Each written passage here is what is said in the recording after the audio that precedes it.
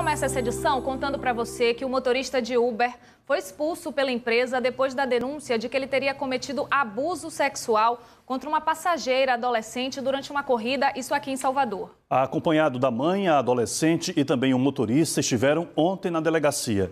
E depois dos depoimentos, a polícia trocou a acusação de estupro para constrangimento. Ela disse que sentou no banco da frente e o Uber ficou forçando ela é, é, agredindo ela pela perna. A voz seria da irmã de um adolescente de 13 anos.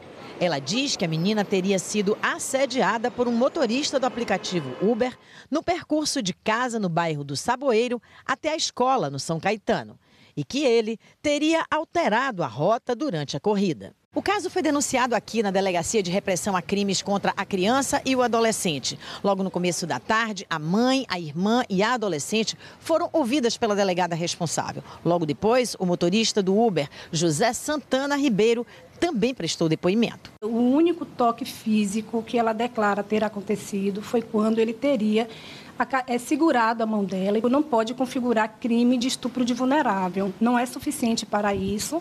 Vai ser indiciado, classificado como crime de constrangimento previsto no artigo 232 do Estatuto da Criança e Adolescente. Mãe e filhas saíram pelo fundo da delegacia sem falar com a imprensa. O motorista José Ribeiro aceitou gravar a entrevista. A chamada foi para o Alexandre. Quando eu cheguei no destino, o GPS me localizou, tinha essa menina. Ela, é Uber? Eu digo sim. Aí, mas quem solicitou foi Alexandre. Aí, aí meu tio, o itinerário que eu mudei, porque pela rota a gente seria pela UNEB, descia a Baixinha do São Gonçalo para sair na Luiz Eduardo. Aí estava engarrafado. Aí eu falei com ela, vamos pegar a paralela, a Luiz Eduardo, São Martim e Largo do Tanque. Ela concordou. O que, é que o senhor acha que aconteceu, né? O porquê de tudo isso? Eu, eu não sei, eu fiquei surpreso, chocado. Eu não sei, porque eu nunca tive na delegacia. Tenho 44 anos, nunca fui preso, graças a Deus.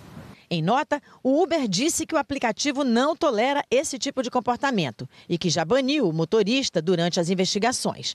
Disse ainda que se coloca à disposição para colaborar e lembra que nenhuma viagem de Uber é anônima, ressaltando que as corridas são registradas com itinerários e foto do motorista.